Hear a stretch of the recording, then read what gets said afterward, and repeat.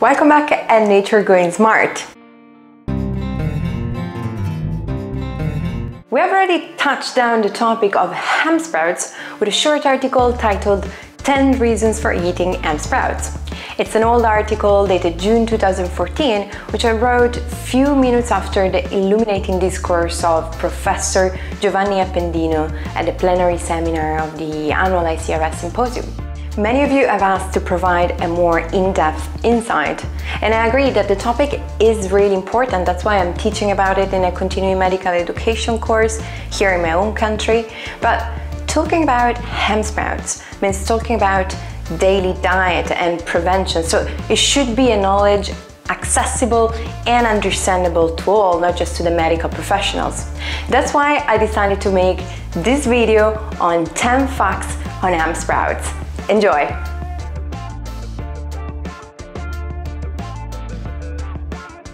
With a complete source of all essential amino and fatty acids, hemp seed is a complete nutritional source well over 80% of its total fat content is composed of polyunsaturated fatty acids like uh, omega-3s like alpha-linoleic acid and omega-6 like linoleic acid. Actually, hemp seeds are amongst the only few edible seeds containing significant amounts of GLA, gamma-linoleic acids, and ZA, stearidonic acids. These other two polyunsaturated fatty acids are very important because they decrease the formation of inflammatory prostanoids from arachidonic acids, meaning basically that hemp seeds, and so hemp seed oil, has a unique property of increasing the concentration of anti-inflammatory omega-3s and at the same time decreasing the production of pro-inflammatory mediators. And you might be wondering, wasn't the video about sprouts? Wait, wait, wait, we are getting there. The thing is that sprouts are nothing else than seeds allowed to grow. And why should we grow seeds unless we're a farmer? Well,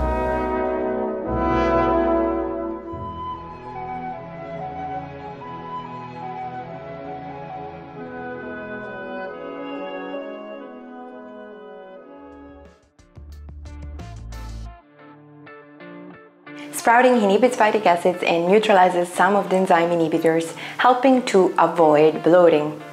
Sprouting also generally diminishes some of the fat content and converts the more dense vegetable proteins into simpler amino acids, helping our bodies to assimilate easier their nutritional contents.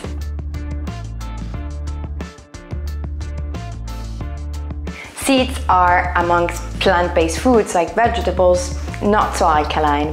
When we allow seeds to grow and to sprout, these become closer to the state of vegetables, becoming more alkaline, which we know it's an important quality of foods that help us maintain a balanced state free from inflammation.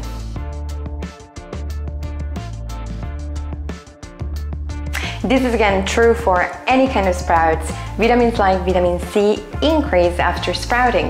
And this is such an old knowledge that Chinese sailors used to carry mung beans when on long journeys at sea to sprout them in order to obtain sufficient amount of vitamin C and prevent scurvy. So what happens with hemp sprouts? Well, the anti-inflammatory gamma-linoleic acids or GLA, which we mentioned earlier, increases of 30% from seed to sprout.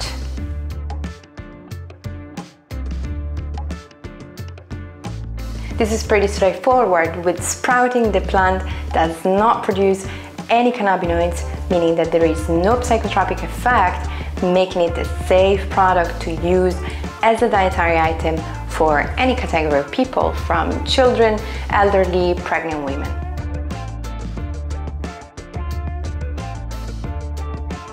In some hemp varieties, sprouting induces the formation of prenylated flavonoids like cannflavins, cannabispirins, caniprins, which are present in the leaves and the flowers, but not in the seeds. Flavonoids are secondary metabolites of plants. Plants produce them in order to protect against oxidative stress, pathogens, and UV radiation.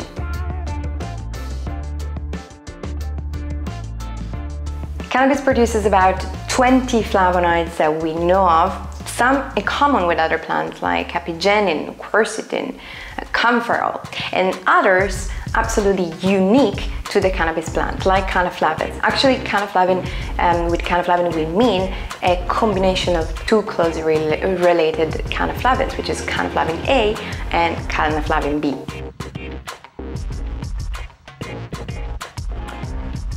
The anti-inflammatory property of cannflavin was found already in 1985 and shown to be higher than that of aspirin. Cannflavin is equipotent to cannabinoids in inhibiting inflammatory prostaglandins and leukotrienes.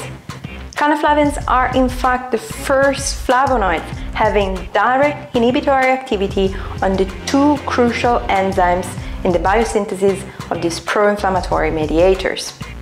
Such dual inhibition is considered a pharmacological strategy in order to intervene with inflammatory disorders and might be superior over single target in terms of increasing efficacy and lowering the side effects.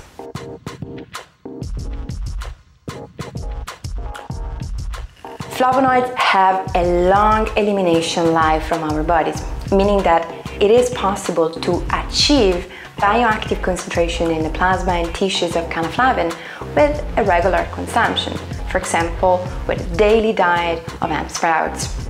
Although this hasn't been tested in more details yet, the scientists who study cannflavins suggest that the best intake for cannflavins is within their fatty omega-3 matrix, like when they're found in the sprouts, and could help increase the activity and the absorption of this anti-inflammatory. They suggest that 20 grams of daily hemp sprout consumption are probably sufficient for obtaining significant concentration of these anti-inflammatory molecules. Seeds that have been sterilized or gamma radiated won't germinate. But what about the seeds that do germinate? Is every hemp sprout the same? And the short answer is no.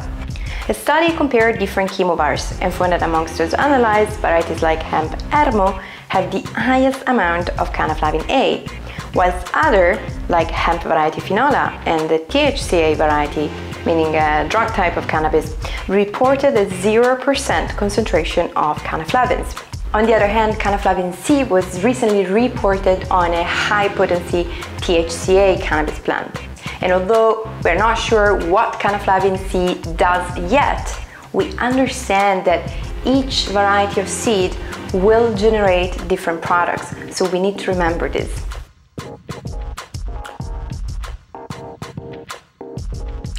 The best part of all is that in order to obtain all these amazing nutritional benefits, you don't really need much.